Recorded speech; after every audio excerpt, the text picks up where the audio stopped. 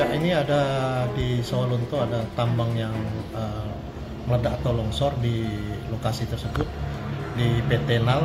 Ini korban berjumlah 12 orang. Ya untuk Basarnas saat ini kita turunkan dua tim yaitu dari satu tim dari pos 50 kota yang sudah kita berangkatkan mungkin perkiraan satu jam setengah akan sampai ke lokasi dan juga sekitar 8 orang lagi di kantor Sarpadang kita berangkatkan dengan peralatan yang lengkap.